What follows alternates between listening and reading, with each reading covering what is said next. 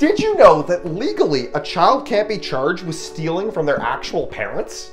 Okay, I don't know if that's true, but it sounds like it. Only time I don't get cold feet about using hot water. I always tell my kids if they're gonna mess with the thermostat, it's this one.